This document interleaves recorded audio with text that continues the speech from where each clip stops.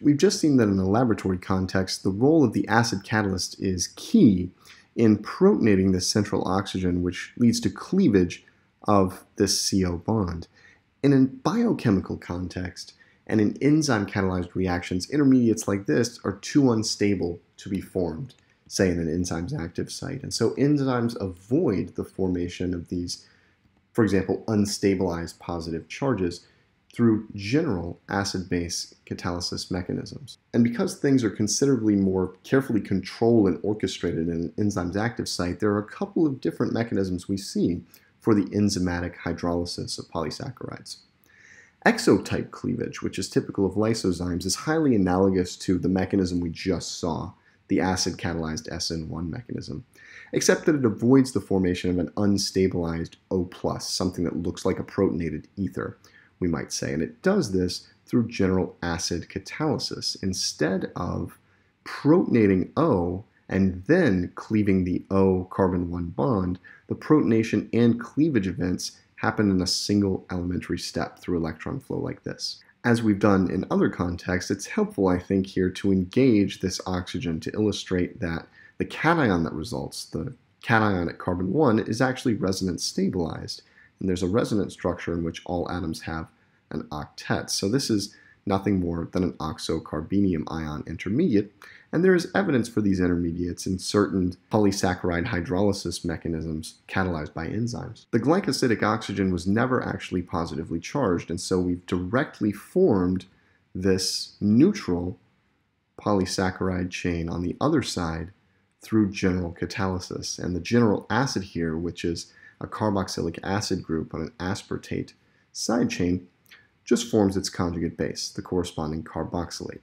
Don't worry too much about the amino acids and the fact that this is enzyme catalyzed just yet. The main point I want to make is that this enzymatic reaction avoids discrete protonation of this oxygen and instead uses general acid catalysis with protonation and bond cleavage happening in a single elementary step.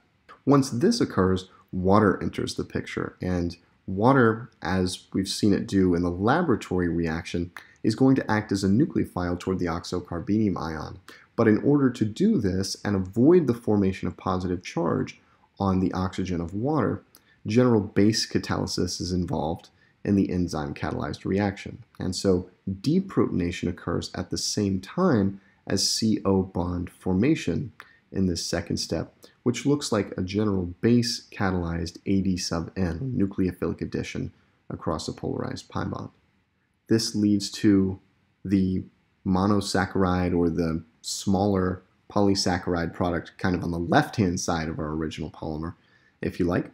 And this regenerates the acid catalyst. Notice that the carboxylate was protonated, so we're going to get the neutral aspartic acid residue back so that the enzyme can catalyze another round of hydrolysis. Another location where we see a need to hydrolyze polysaccharides is in the saliva saliva will come in contact with a very large number of starches as we eat anything from cereal to crackers. Many, many things plant based are going to include polysaccharides that need to be digested by the saliva. And alpha amylase enzymes in the saliva use a slightly different mechanism that we might call endotype cleavage. This is a substitution with ring opening that takes place. In this endotype mechanism, substitution happens in an SN2 type fashion first to actually open the ring of the monosaccharide whose one carbon, whose anomeric carbon is involved in the glycosidic linkage. And so, in essence, we end up with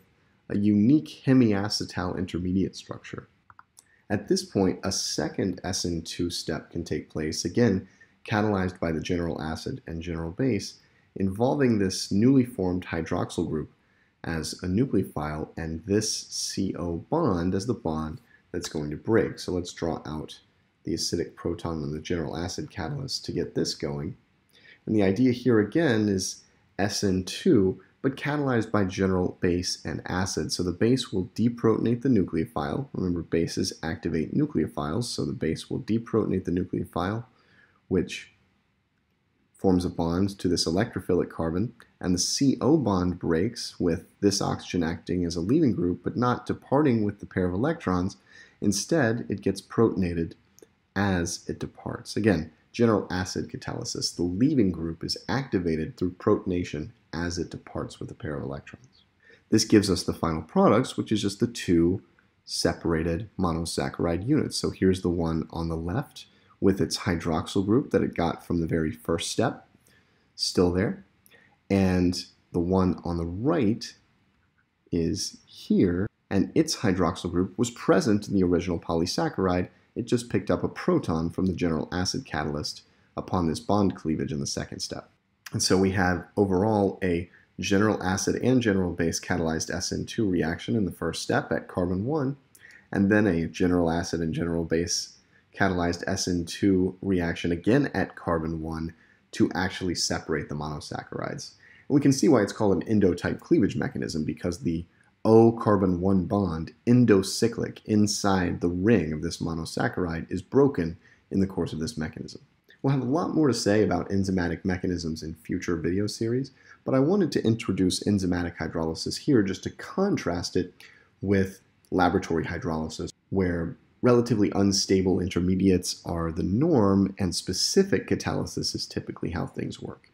In an enzymatic context, we're doing a lot more of business type elementary steps like SN2, beta elimination, and nucleophilic addition with proton transfers occurring at the same time. That changes the character and the quality of the curved arrows.